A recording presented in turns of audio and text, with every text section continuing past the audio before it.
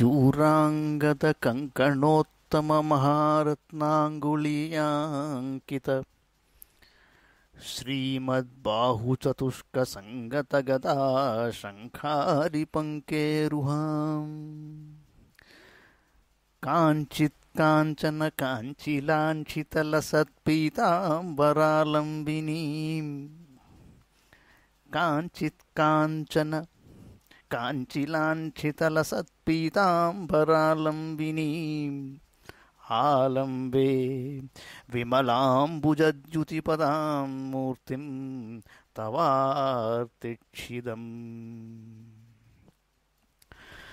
नारायणं नमस्कृत्य नरं चैव नरोत्तमं, देवीं सरस्वतीं व्यासं ततो जयमुदीरयेत्।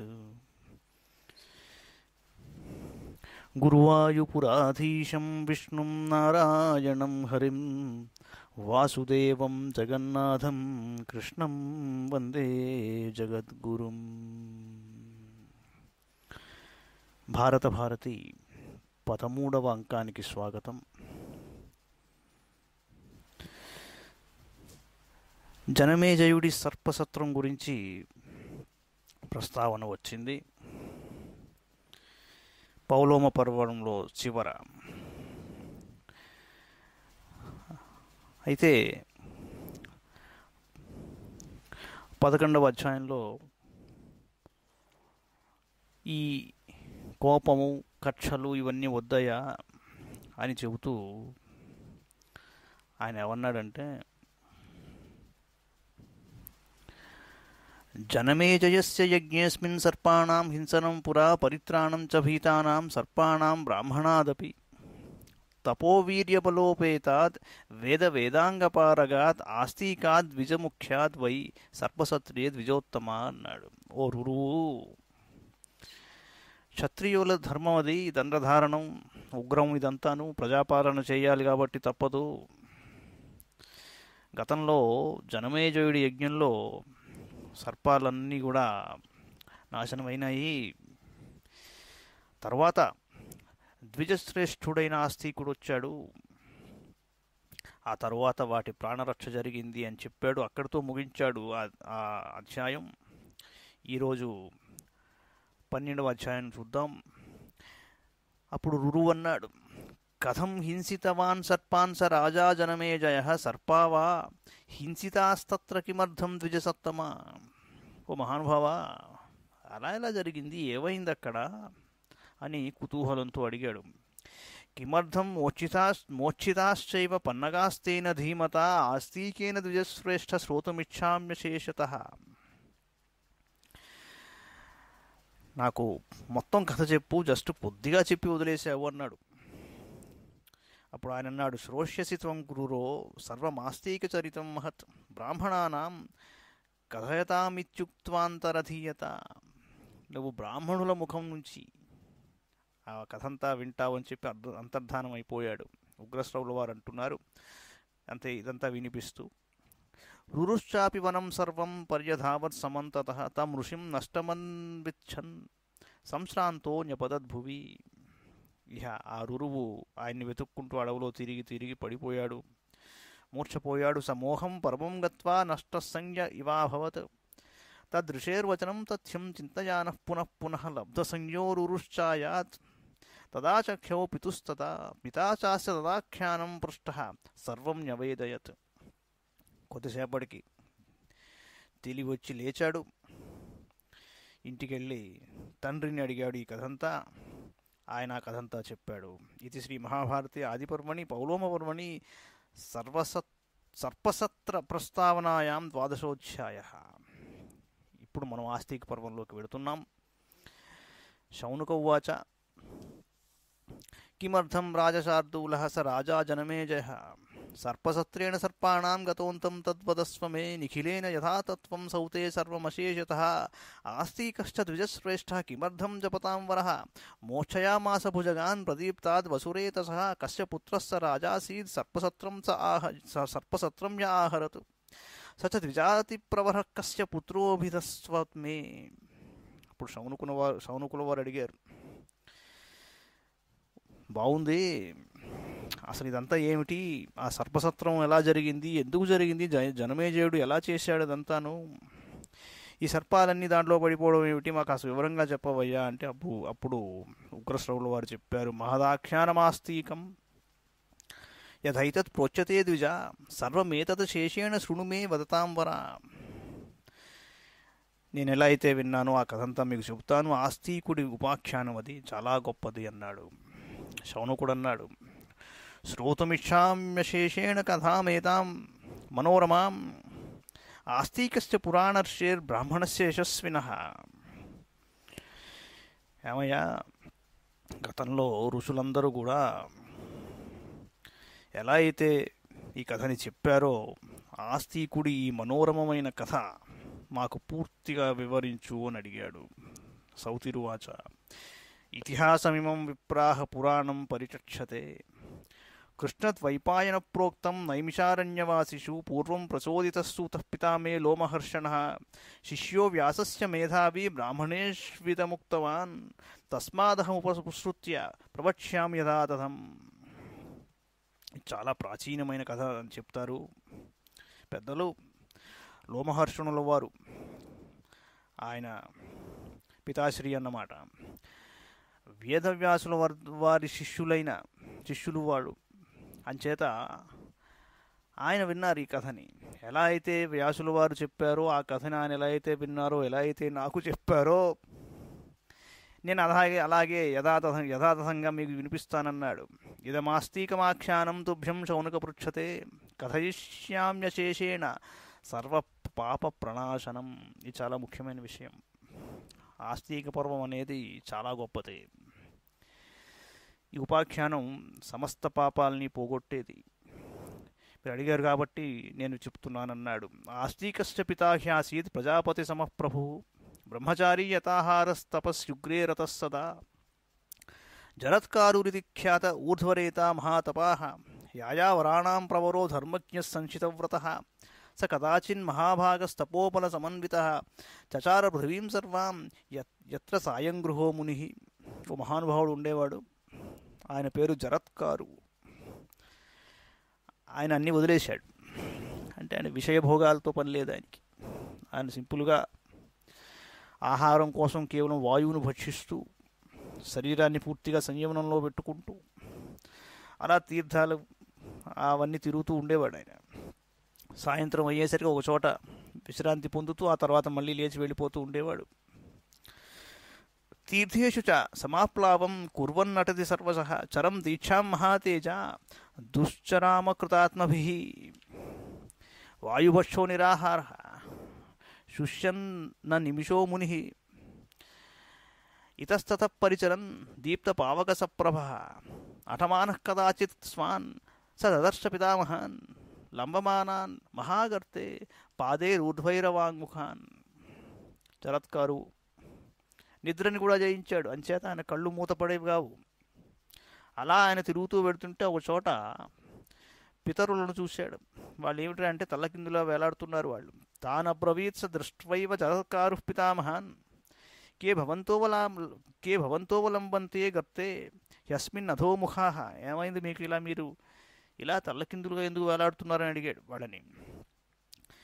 వీరణస్తంభకే లగ్నాహ సర్వత పరిభక్షితే మూషకేన నిగూఢేన గర్తేస్మిన్ నిత్యవాసిన. ఆ పితరులు అన్నారప్పుడు యయావా యాయావరా నామ వయం ఋషయ సంశితవ్రతా. సంతాన ప్రక్షయాద్ బ్రహ్మ బ్రహ్మ బ్రహ్మన్నధో గచ్చామ మేదిని పితరులు మా వాడున్నాడు వాడు వివాహం చేసుకోకుండా పుత్రుల్ని కనుకుండా మమ్మల్ని ఇలా వదిలేశాడు కాబట్టి మా పరిస్థితి ఇలా తయారైందని చెప్పారు. నస పుత్రాంజనయితుం దానాన్ మూఢశ్చికీర్షతి తేన లంబామహే గర్తే సంతానస్య క్షయాది అనాథాస్తేన నాథేన యథా దుష్కృతినస్తథా కస్త్వం బంధురివాస్మాకమనుశోచసి సత్తమా. జ్ఞాతుమిచ్చామహే బ్రహ్మన్ కో భవానిహ న స్థిత కిమర్థం చైవ న శోచ్యానుశోచసి సత్తమా. వంశం ముందరికి వెళ్ళలేదు కాబట్టి మా పరిస్థితి ఇలా ఏర్పడింది. పాపులం అయిపోయాం మేము. ఏమయ్యా నువ్వు భలే ఉన్నావు. సాధు పురుషుల్లా ఉన్నావు. ఇంతకీ నువ్వెవరు? అని అడిగారు. అప్పుడు జరత్కారు చెప్పాడు మమ పూర్వే భవంతో వై పితరస్స పితామహా. భ్రూతకిం కర్వాణ్యజ్య కరవాణ్యజ్య జరత్కారురహం స్వయం. నేనే జరత్కారునయ్యా అని చెప్పాడు. అప్పుడు వాళ్ళు అన్నారు యతస్వ యత్నవాంస్తాత సంతానాయ కులస్యన. ఆత్మనోర్థే స్మదర్థే చ ధర్మ ఇచ్చేవ వావిహో ఏమయ్యా ఇవన్నీ పక్కన పెట్టి సింపుల్గా నువ్వు ఇప్పుడు వివాహం చేసుకుని సంతానం కను అని చెప్పారు. నహి ధర్మపరైస్తాతన తపోభిస్సు సంచితై తాంగతిం ప్రాప్నువంతీహ పుత్రినో యాం మృజంతి వై తద్దారగ్రహణే యత్నం సంతత్యాం చ మనః కురు పుత్రకాస్మిన్ యోగాత్ త్వమేతజ్ఞ పరమం హితం. నేను చెప్పిన దాని మేము చెప్పిన దాని మీద ముందు ముందర మనసు లగ్నం చేసుకో. ఇదే చాలా గొప్ప విషయం. మమ్మల్ని అందరినీ ఉద్ధరించవయ్యా అని అడిగారు. జరత్కారు అన్నాడు నా దారాన్ వై కరిష్యేహం నా ధనం జీవితార్థత భవతాంతు హితార్థాయ కరిష్యే దార సంగ్రహం నేను అసలు సుఖభోగాల వైపు ఎప్పుడూ ఆలోచించలేదు. వాటిని పరిత్యజించేశాను ఆలోచించడమే ఉంది. అంచేత నేను మరి ఒక కన్యని గ్రహించడం అన్నది సరైన పని కాదు. కానీ మీరు ఇలా అంటున్నారు కాబట్టి నేను వివాహం చేసుకుంటానన్నాడు. समयेन च। मन विधिपूर्वक तथा यजुपलप्स्यामि करिष्ये नान्यथा ह्यहं स नाम्नीया भवित्री मे दित्सिता चैव बन्धुभिः कन्या उपयुंसिये विधानतः। दरिद्राय मे भार्यां को दास्यति विशेषतः। पतिग्रहीष्ये भिक्षा तो यदि कश्चि प्रदास्यति। एवं दारक्रिया हो हेतोः प्रयत्ष्ये पितामहाः। अनेन विधिना शस्व शश्वन्न तत्र चो పశ్యతే జంతుర్భవతాం తారణాయ వై శాశ్వతం స్థానమాసాధ్య మోదంతాం పితరో మమ కాకపోతే ఒక షర్త్ అన్నాడు ఏమిటయ్యా అంటే నా పేరులాగే ఉండాలి అమ్మాయి పేరు కూడా దరిద్రుడికి భిక్షనిచ్చినట్టు నాకు ఇచ్చినట్టు నాకు ఇస్తేనే తీసుకుంటానన్నాడు నేను గ్రహిస్తాను వివాహం చేసుకుంటాను అలాగే ఆ పత్ని నుంచి ఏదైనా ఎవరన్నా పిల్లవాడు పుడితే అప్పుడు మీరు వెళ్ళిపోయి ప్రసన్నంగా ఉండొచ్చు మీ చోట్లో అని చెప్పాడు. ఇది శ్రీ మహాభారతి ఆది పర్వణి. ఆస్తిక పర్వణి జరత్కారు తత్పితృ సంవాదే త్రయోదశోధ్యాయ. సౌతిరువాచ. తతో నివేశాయ తదా స విప్రః సంచితవ్రత మహీం చచార దారార్థీన చ దారాన దారానవిందత. చాలా వెతికాడు ఆయన. కానీ ఎక్కడ అమ్మాయి దొరకలేదు. స కదాచిద్ వనం గత్వా విప్రః పితృవచ స్మరన్ చుక్రోష కన్యాభిక్షార్థీ తిస్రో వాచశనైరివ తం వాసుకి ప్రత్యగృహ్ణాదుద్యమ్య భగినీ తథా తదా న సతాం ప్రతిగ్రాహన సనామ్నీతి చింతయన్ సనామ్నీం చోజతాం భార్యాం గృహ్ణీయామితి తస్య హి మనో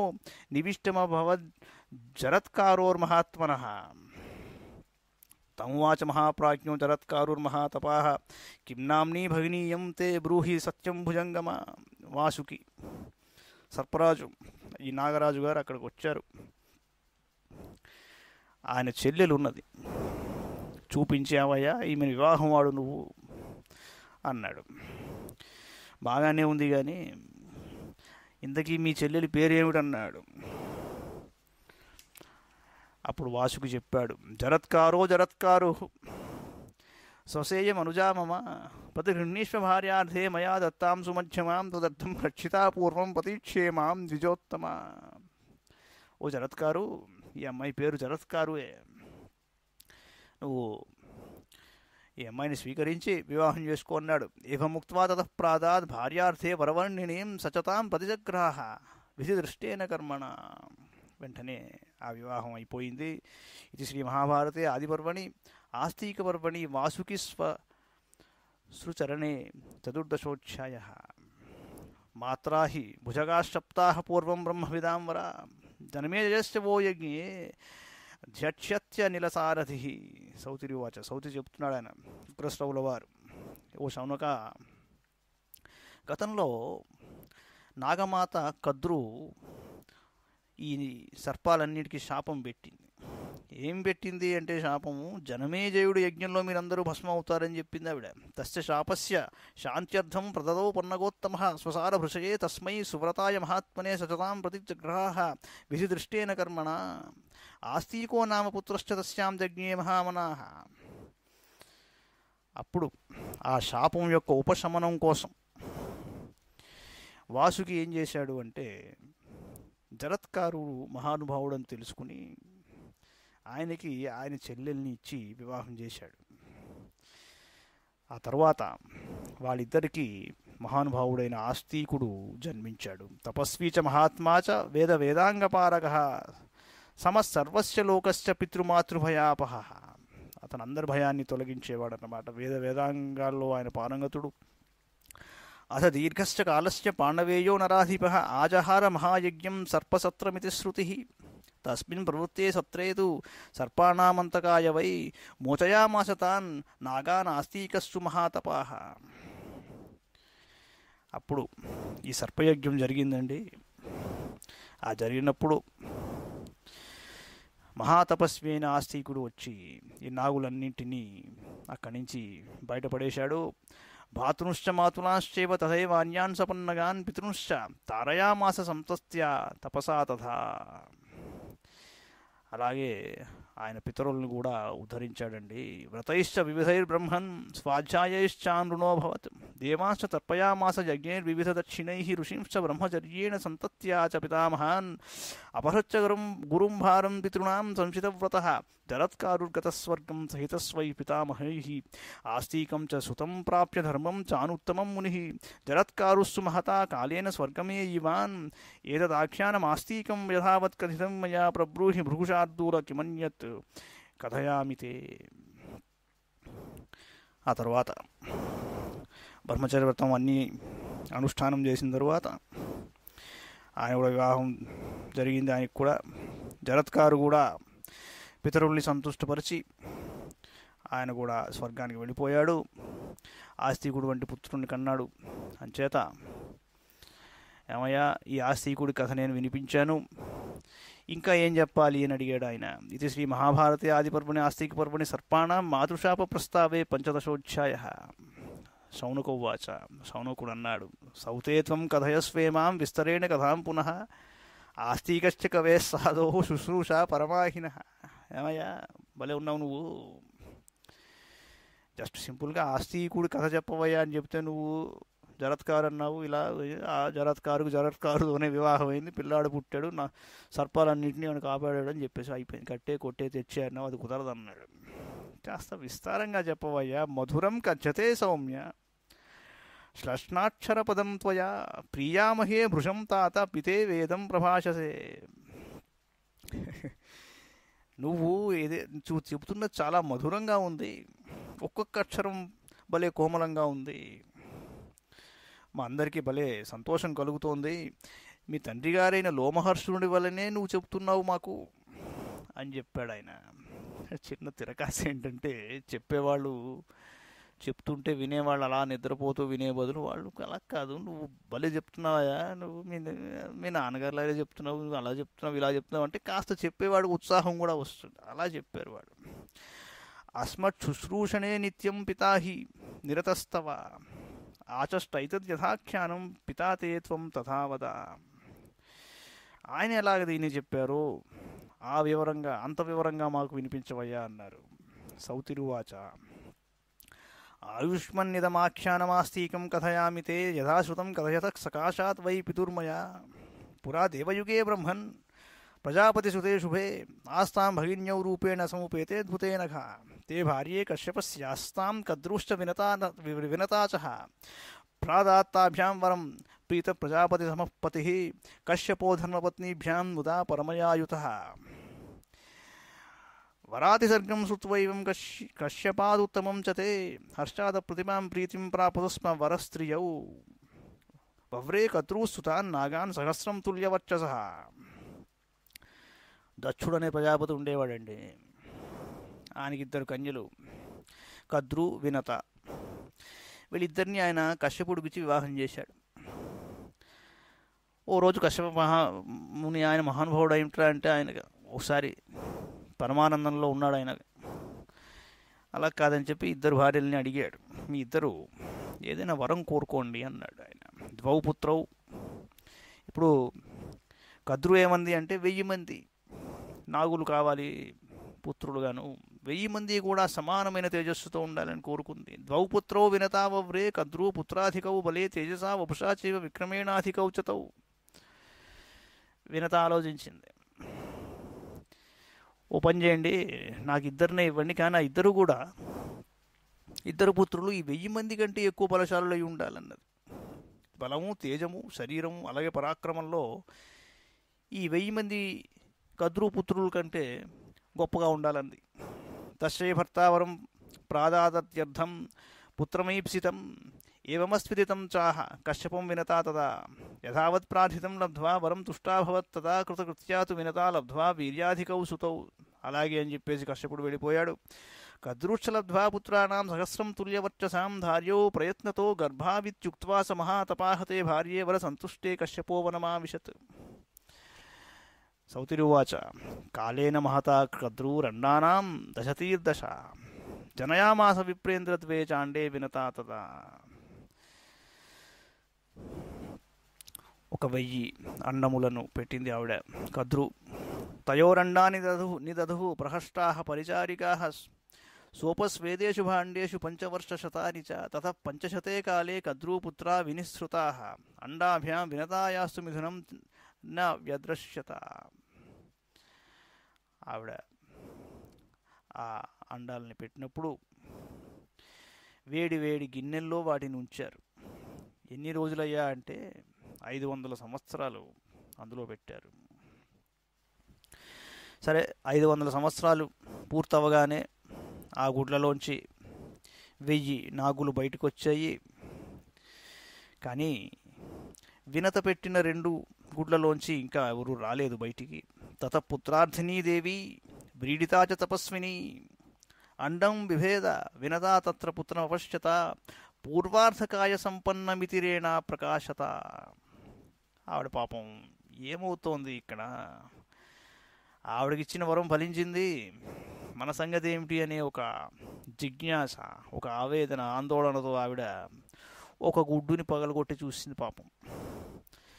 అందులో సంపూర్ణంగా తయారైన ఆ బాలుడు కనిపించలా. అక్కడ సగమే ఉంది. కింద భాగం లేదు పై భాగమే వికసి వికసించి ఉన్నది. సపుత్ర క్రోధ సంరబ్ధ శాపైనామితి శృతి. వ్యూహమేవం కృతో మాతస్వయా లోభపరీతయా శరీరేణా శరీరేణా సమగ్రేణ తస్మాత్ దాసీ భవిష్యసి. పంచవర్ష శతాన్యస్య యయా విస్ విస్పర్ధసే సహా. వెంటనే ఆ బాలుడు ఒక శాపం పెట్టాడు తల్లికి. ఇలాంటి పని చేశావేమిటి? నాకు నాకు సగం శరీరం ఉండేట్టుగానే నువ్వు చేశావు. ఆ తొందరపాటు ఎందుకు అని చెప్పి నువ్వు ఐదు వందల సంవత్సరాలు దాసీగా ఉంటావన్నాడు. ఏషత్వాంసుతో సుతో దాసీత్వాన్ త్వాన్ మోచయిష్యతి యజ్జేనమపి మాతస్త్వం మామివాండ విభేదనాత్ న కరిష్యస్యంగం వా వ్యంగం వాపి తపస్వినం. కాకపోతే ఆ రెండవ అండంలోంచి ఎవడైతే పుడతాడో వాడు చాలా గొప్పవాడు నిన్ను విముక్తుడిని చేస్తాడు ఆ దాస్యం నుంచి కానీ నువ్వు తొందరపడి నాకు చేసిన పని అక్కడ చేయబోక అని చెప్పాడు. ప్రతిపాలయితవ్యస్తే జన్మకాలోశ్చ ధీరయ విశిష్టం బలమీప్సంత్య పంచవర్షశతాత్పర అప్పుడు ఆవిడ నిశ్చయించుకుంది. అప్పుడు చెప్పాడు ఐదు వందల సంవత్సరాలు ధైర్యంగా చాలా ఓర్పుతో నువ్వు ఉండాలి అని చెప్పాడు. ఏవం సప్వా తతఃపుత్రో వినతామంతరిక్షక అరుణో దృశ్యతే బ్రహ్మన్ ప్రభాత సమయే సదా. ఆదిత్యరథమధ్యాస్తే సారథ్యం సమకల్పయత్ అలా చెప్పి ఆయన ఆకర్షణలోకి ఎగిరిపోయాడు. అరుణుడు అతను ఊరు లేకపోవడం వల్ల ఆయన అనూరుడు అని కూడా అంటారు. వెళ్ళి డైరెక్ట్గా ఆయన సూర్యనారాయణుడి రథానికి సారథిగా వెళ్ళి కూర్చున్నాడు. ఉదయం మనకి సూ సూర్యోదయం జరుగుతున్నప్పుడు ముందర ఒక ఎర్రగా ఏదైతే మనకి ఒక కాంతి కనిపిస్తుందో అది ఈ అరుణుడి స్వరూపం.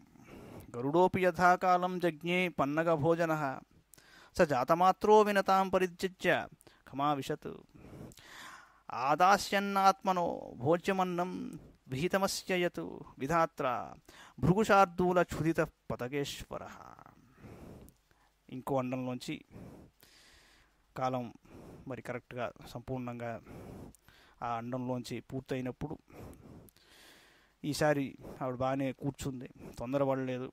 అందులోంచి పక్షిరాజు గరుత్మంతుడు బయటకు వచ్చాడు పక్షిరాజుకి ఆయన పుట్టగానే భయంకరమైన ఆకలి కలిగి